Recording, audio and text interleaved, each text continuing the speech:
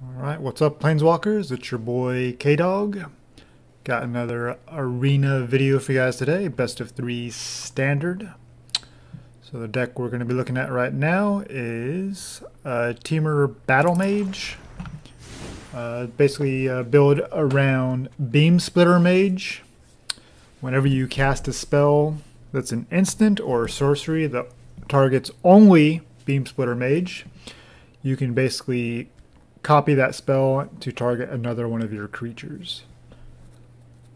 Uh, so the green uh, gives us cards like Season of Growth, which can help us draw a ton of cards. And Titanic Growth is awesome as the plus 4 plus 4 buff, especially when you get into Trample like Gruul Spellbreaker and the Dreadhorde Arcanist, or even doubling up the Trample with the Colossus uh, Domri's Ambush is just really good removal, even though it does not work with Beam Splitter Mage. And the Rimrock Knight is just kind of a nice flex card that gives us a creature and a spell at the same time. Barge In is pretty amazing because none of our creatures are humans. So basically if we can target our Beam Splitter Mage with Barge In, we buff two creatures and everything has trample. We also have one of my favorites, the Wee Dragonauts. That's a 1-3 flyer, and whenever you cast an instant or sorcery, it gets plus 2, plus O. And with Beam Splitter Mage, things can get out of control pretty quickly. So I've tested this in some best of one and had some pretty fun matches. Uh, some pretty crazy turns. Hopefully we can replicate some of that. Um, so the sideboard is definitely a work in progress, but here's where I'm at so far. We got four unsummons, which can be used on our opponents or our own creatures, especially if they have a sweeper. We can target our Beam Splitter Mage to bounce it back to our hand, plus another creature, and just kind of save some of our uh, attackers.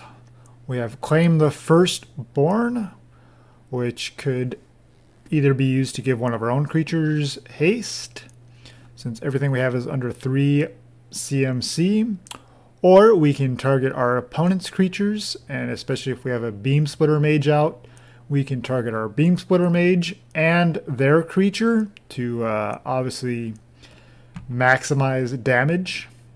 Destiny Spinner is just in there so that we cannot be countered. not sure how relevant that is, but having your stuff countered is probably the most annoying thing. Return to nature because of all the enchantments. And the exile from the graveyard can also be relevant with all the escape mechanics. And for our sweeper, since we are starting trying to stick a couple of creatures and just buff them up, we're not really going wide. So for the decks that are trying to go wide, uh, I was thinking about Flame Sweep, but I think we're actually going to try Storm's Wrath and uh, see how that goes. So we're going to get into some more best of three matches because that is my preferred method of play. And uh, let's see how we do in best of three. Best of one, this deck has run pretty well for me. So we'll see what we can do in best of three. And if nothing else, hopefully we can show you guys some pretty spicy turns with chaining some spells together and buffing up our dudes. Okay, match one, we're up against King Fu. Alright, King Fu. They will be on the play. Opening hand. Wow, no creatures. We have the Season of Growth. We have the Ambush. Um, we can definitely season growth turn two. And if we draw a single creature from there, we should be good to go. And right on cue. So we'll start with a breeding pool so we can get our season of growth down without having to shock. Okay, our opponent looks like they're just on some Gruul aggro build. Going for the haste. That's, I think, how you usually want to play those guys. Especially when you don't know what your opponent is up to. Just guaranteeing you get in for two damage seems like the way to go. Uh, Legion War Boss. Okay, we're uh, definitely in a bit of trouble here. Four cards in hand. I'm sure they have removal. So we're going to have to pay to shock in a Dragonauts. If they kill it, we're probably just dead. Uh, the Arcanist is good, but it might be a little slow. Um, I think we have to try it though, just for the Domri's Ambush combo. And we'll see what our opponent has. Yep, they kill it right away. And they get in for uh, 7. And I think we're uh, just too far behind at this point. Let's just go to game two. I mean, Gruul aggro, they go first. They pretty good chance they're going to win. So, we can definitely try to bring in the Storm's Wrath. That'll clear everything that they have.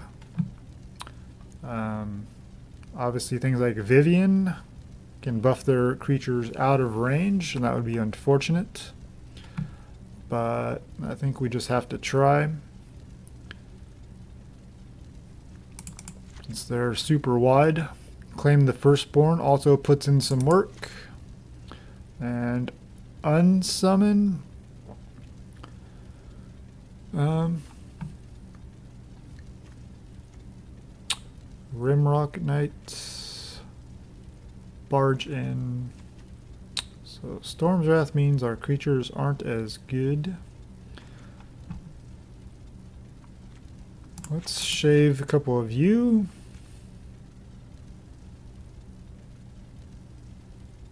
Uh, maybe we'll shave off what else? The growth. We want all of our removal. And the growth is a little slow if they're just going to go super aggro on us.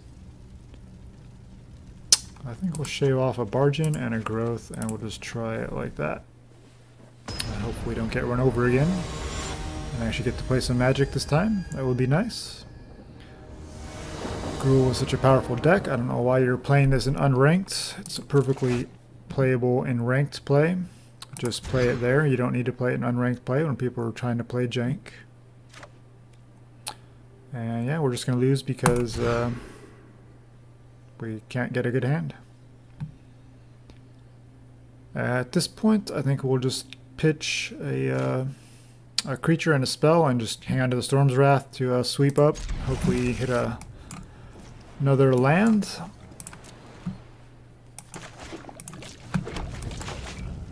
So we can clean up their board, hopefully before we just uh, get run over.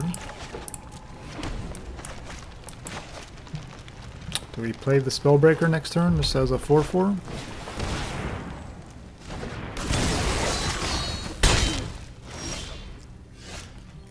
Well, we have the Storm's Wrath enabled next turn. So if they drop a War Boss or something, I think we're definitely interested in playing that. So I don't think we want our Spellbreaker online yet. And if we draw another land here, then we can definitely Spellbreaker and Colossus if we want to. Otherwise we'll just follow it up with our uh, Spellbreaker. Breeding Pool, so that does give us the option next turn, but four cards in hand, they still have plenty of spells, but we'll at least slow them down a little bit. Aggro is just a really good deck on the super aggressive. Wow, Street Dodger? You're playing a 1-1 in your aggro deck. Okay. Uh, not really in a good spot to attack, so let's just uh, buff it up. Yeah, I'm not sure I get the Dodger here. Maybe they're a... Uh, Okay, maybe they're just a uh, go goblins. Okay, I was gonna say goblins, but no, they are not goblins because they got Hydra. And uh, once again, looks like we're just dead here. claim the firstborn and attack.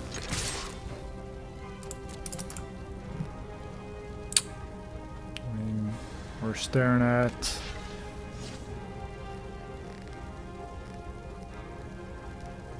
six damage, at least six damage next turn.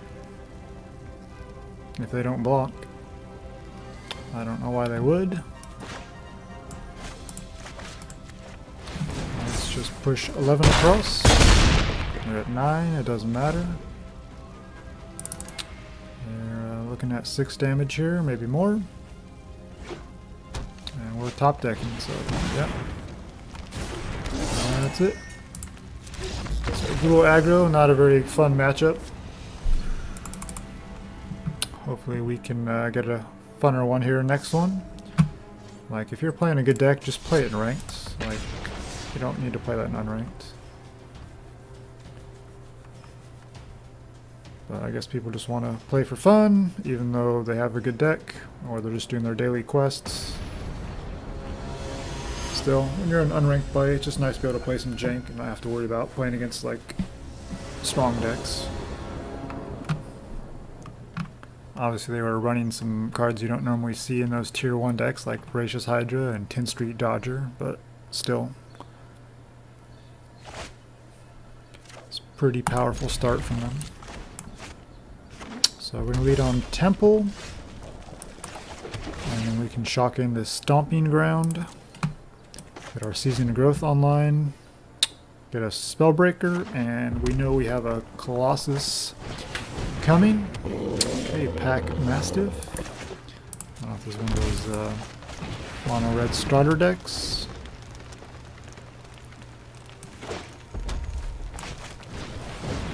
Okay. So we're definitely playing the playing the Spellbreaker as a 4-4 next turn. A little scry action. We have all our lands, so we're just looking for uh, either another creature or uh, another spell. We'll see how much damage they can push across. Obviously double burn can kill it. Lava coil.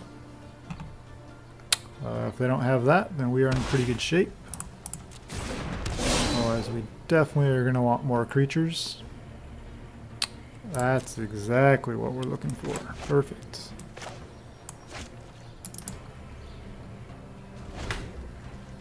So, we can Beam Splitter plus Season of Growth next turn.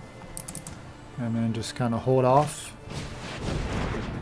on uh, Collision Colossus. Tapped out.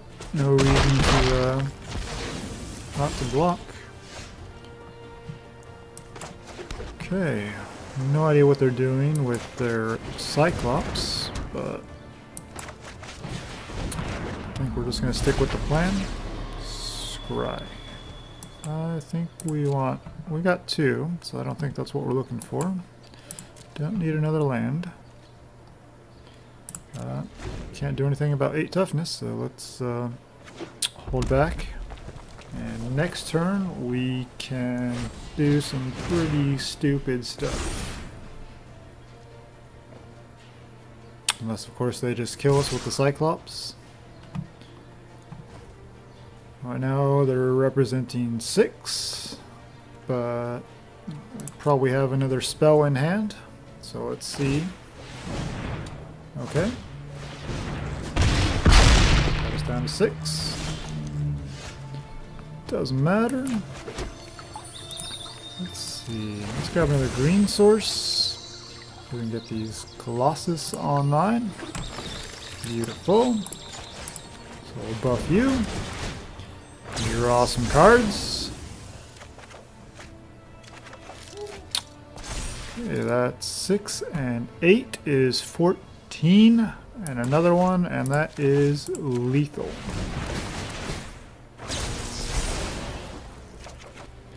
Look at that. Oh man. 22 damage. Out of nowhere. Alright.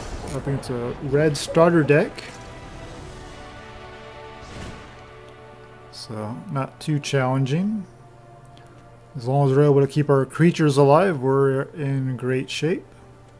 So against mono red, um, pack mastiffs weren't too threatening. We could consider the unsummons, depending on how big their creatures are. Uh, all we saw was the Mastiff and the Cyclops. As a 0-8, it wasn't too threatening, especially if all their spells are pretty low cost, they're not going to be able to buff it up too much. Uh, we'll see what else they have. Um, we'll just try two unsummons and uh, see what we can do. It Could be a matchup where we don't need to sideboard at all, but let's uh, see how this configuration looks. One land. Okay, that's unfortunate. Okay, two lands. And we'll keep Dragonauts. Barge In to the bottom. Okay, we can Season of Growth to start scrying, and hopefully we don't just get completely run over. Those seem like they're a little bit of a slower build as far as mono red goes. Ember Hauler. Doesn't seem particularly powerful here. Obviously we have to watch the Beam Splitter Mage, since the Hauler can trade with it. Alright. Spell Gorger Weird, which can get some counters. Just to be mana efficient, I think we'll Spellbreaker, make it a 4-4. There you go. Collision. Mm, yeah. I don't think we can say no to that. Love to start getting some creatures online, but Okay, double Spell Gorger. It's a little scary. If they want to attack... Hmm. I mean, they can... If they have a shock, obviously that would uh, suck. Well, we have plenty of creatures to follow up with, but I think we need to just get rid of this Ember Hauler so we can safely play some of our other creatures. That's not how that works. So looks like we have a newer opponent on our hands. Um, don't have anything in our bin yet. Love to get another land to get the Beam Splitter Mage and Dreadhorde Arcanist. That would be pretty insane. Um, we'll say no attacks. These spell gorgers can get pretty big here with counters, uh, especially if they're doing direct damage to us. Then our life total could dwindle faster than we would like. We are not blocking with our beam splitter mage, so cannot afford to lose that. Uh, if they have a shock, then I guess it's better they use it on the Spellbreaker. Uh, we'll keep our uh, mage alive.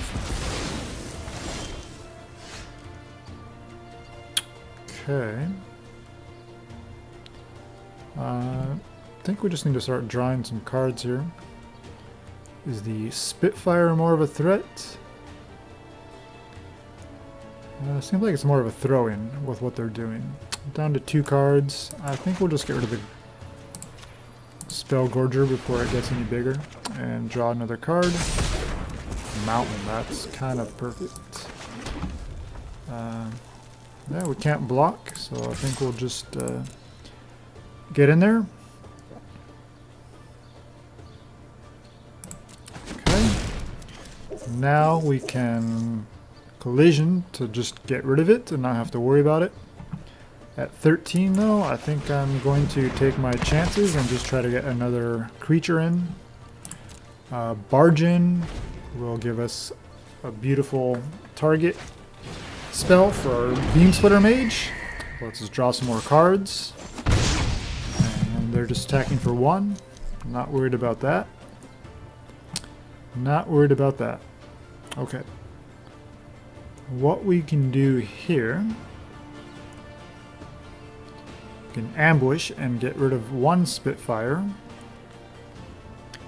We can collision Colossus.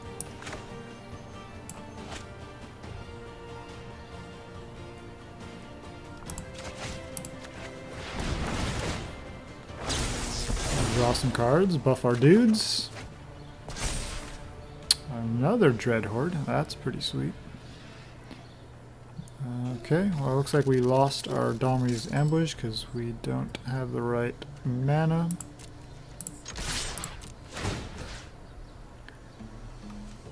No, we can cast it out of our graveyard. Let's just do that.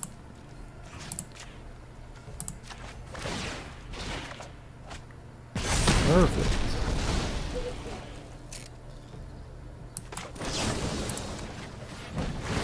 Yeah, why not? Barge in, because we can replay it next turn.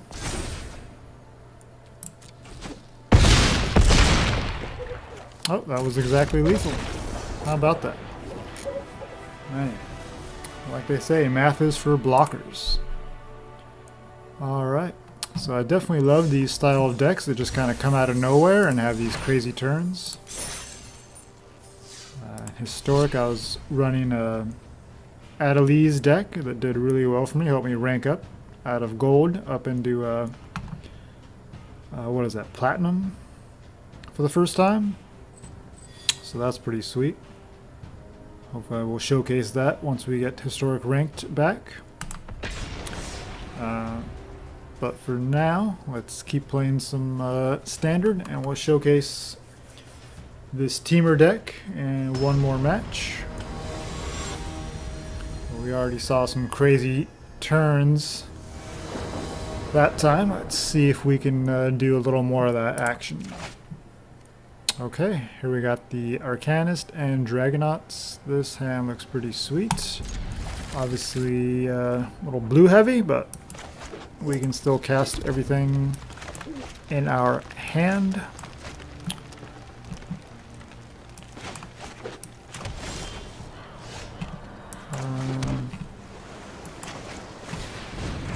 We're just going to keep playing. And we'll save the temple.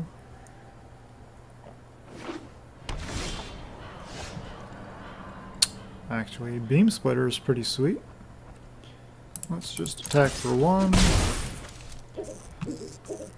Golgari. That's not really fun. Uh, yeah, let's Beam Splitter and Temple. And hopefully we can untap. Yeah, I think we'll do that for some more green manas. So we got double red and we got plenty of blue. And hope we don't just get blown out here.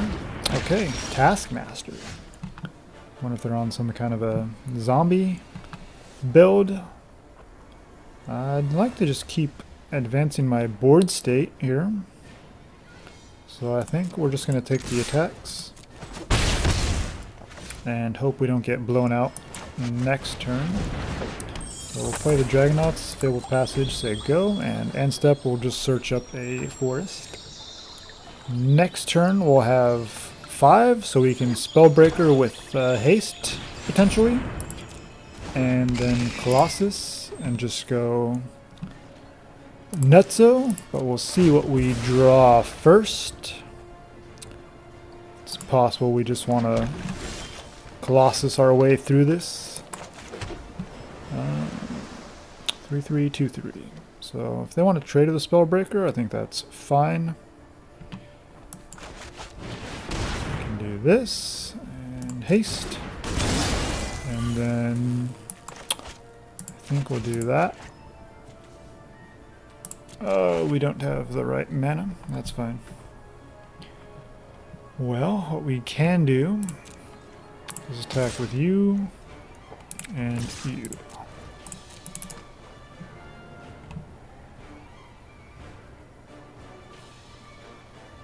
Uh, these islands are kind of screwing me up a little bit. Uh, yeah, let's just give the uh, Spellbreaker Trample. I'll also buff up the Dragonauts, doesn't really matter. So our opponent down to 8, but the Dread Presence can help them gain some life. Probably killing the Beam Splitter. Yep. It's unfortunate. We do still have some pretty crazy plays with the Arcanist and Dragonauts. And of course they have more removal. Uh, since we're missing green, we'll go get another forest. So that screwed us up last turn. Uh, might have even been lethal. But... So this buffs it up to 5. Yep.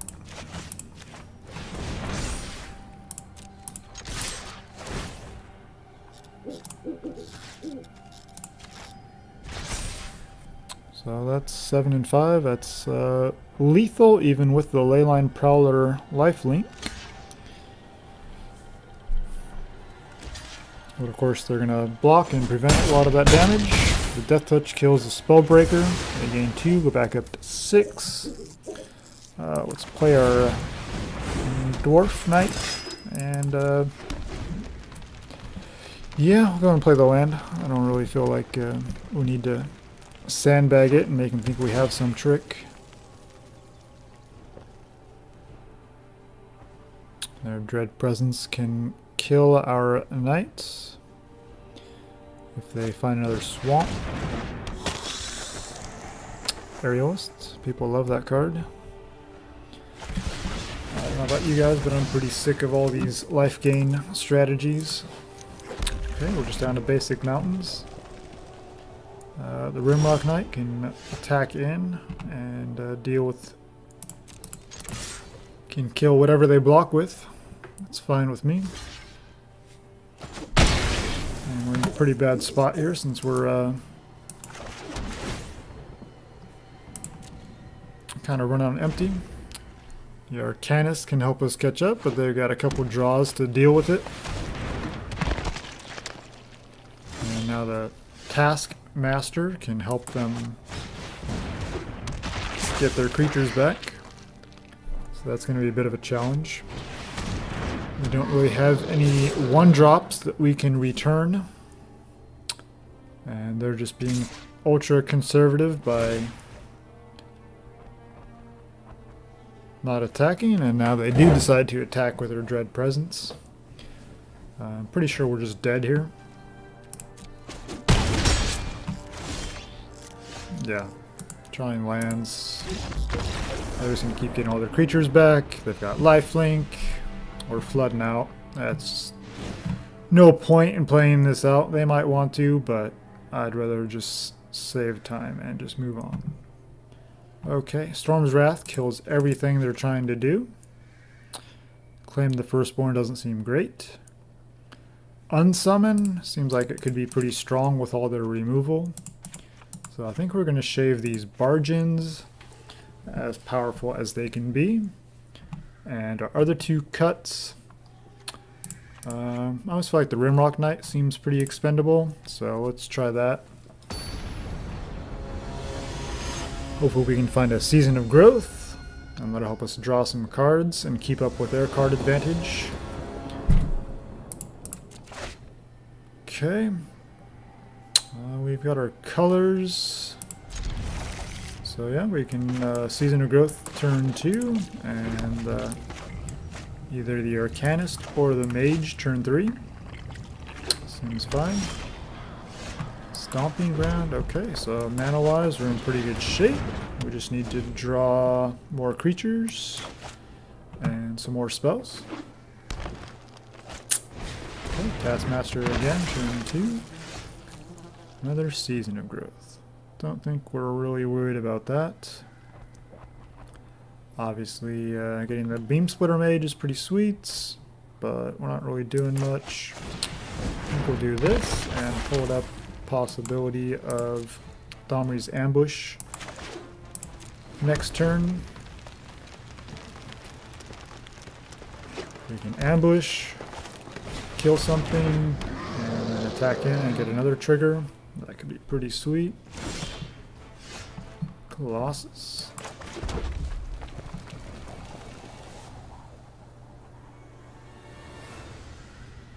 Good season of growth and draw a million cards. that seems pretty appealing. Let's do that. There. We'll get a counter. We're going to draw some cards. Uh, let's go to attack again. And let's deal some more damage to that Prowler finish it off. Now we've got a 3-5 Trampler coming at you. and a group full of cards. Great engine here. They want to blow it up with their Assassin's Trophy. That's fine. We'll just get more lands. That'll help us get more fuel. Okay, definitely interested in dealing with that dread presence. But Taskmaster can just get it back. So maybe...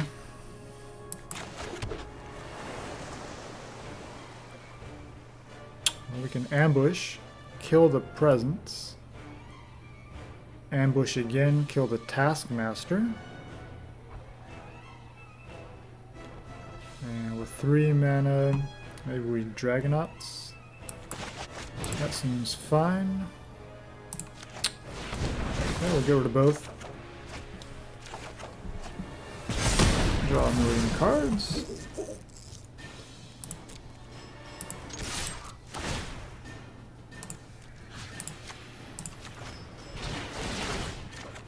And I don't think they have a sweeper since they were happy to play out their creatures. Okay, let's get the Dragonauts down, just be mana efficient. More lands. Well, we got two in hand. So I don't think that's what we're looking for. That is what we're looking for, though. Do we need steam vents? We've got three red, two blue. We got a forest in hand. Um, not really doing much. Maybe we don't need all these Arcanists, so let's keep the lands. So we can uh, go off and cast a million spells.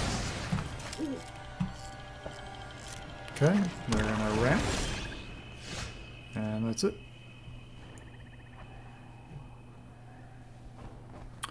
Opponent at 12. If we do this, are they dead? That's 8, 10, 12. Uh, yeah, my opponent should be dead.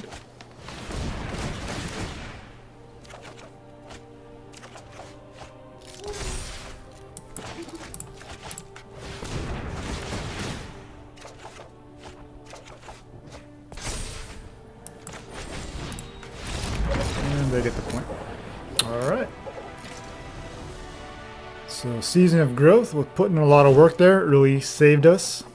We're able to keep going.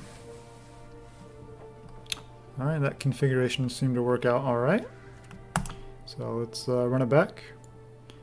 Unsummoned felt pretty good, so I'm happy with that.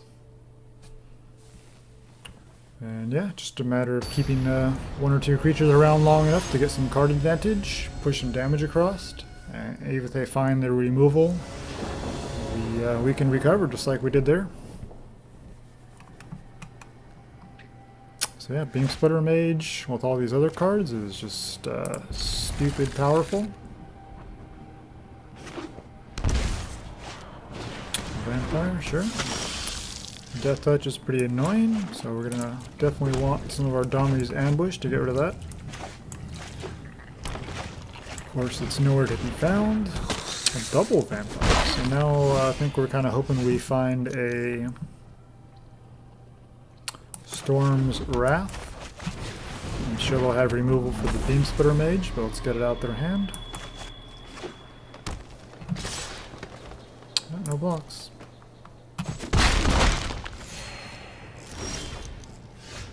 We got pretty powerful engines here, so I don't think there's any reason to be too worried about life totals. Put in for five. seem to be holding some removal though. The uh, Assassin Trophy? No. Not sure what they're holding on to at instant speed here. So they did have one. Not really sure why they held on to it. Um, doesn't matter. I think we'll just grab some forests. So we can push a ton of damage across.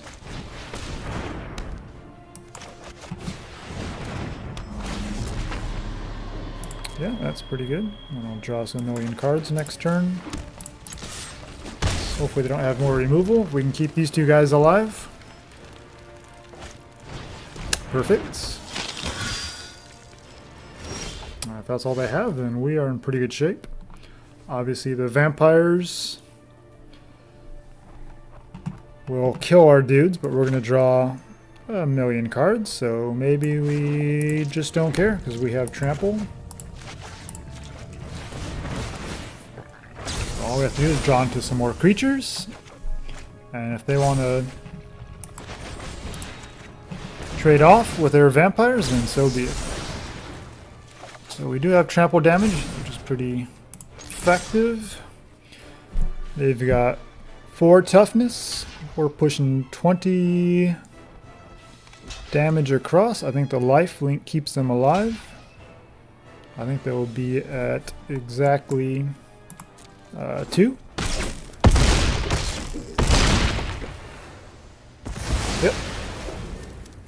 So we got another Beamsplitter Mage, but two lands. That's not really ideal. Um, yeah, as long as they don't have a sweeper, this hand is definitely something we can recover with. Uh, the Dragonauts is a great card, but right now I think we just want more spells.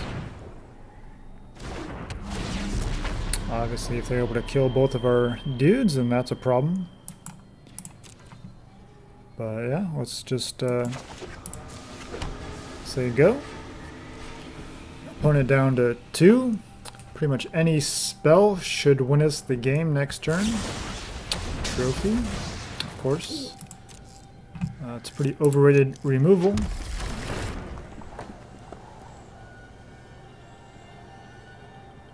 But that's what they feel they need to run. And it seems like maybe they're stuck on mana. Okay, they have a double trophy. That's pretty annoying.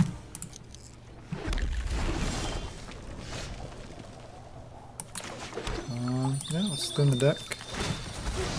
I mean, our opponent's at two, so I think we just have to keep chugging along and just trust that eventually we'll be able to do something against them. Obviously, these uh, black decks with all their removal is pretty frustrating at times. Unfortunately, we just kind of flooded out. Their uh, Taskmaster can get their creatures back for them.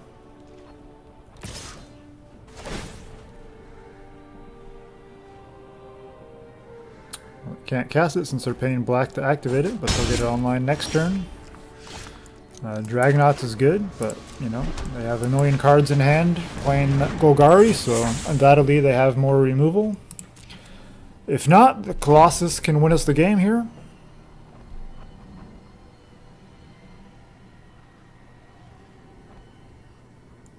Hopefully they're sitting on creatures. Okay, I'll take a Leyline Prowler. It's fine with me. Can't use it. Cannot pay for the Taskmaster because you played your Prowler. Um, just in case, I think we'll just take it. And yeah, get in for lethal. Boom. Alright, we flooded out pretty hard but we were still able to fight our way through our opponent's removal. Alright guys, I hope you enjoyed that. Temur Beamsplitter Mage. Pretty sweet deck. If you're a fan of explosive turns, I recommend you give it a try. Uh, trying to promote decks that you don't really see a whole lot of play. Since uh, problem with Arena, in my opinion, is everybody just kind of plays the same thing and it gets really old really fast. But that's just my opinion. So thank you guys for watching and hope to see you in the next one. Take care.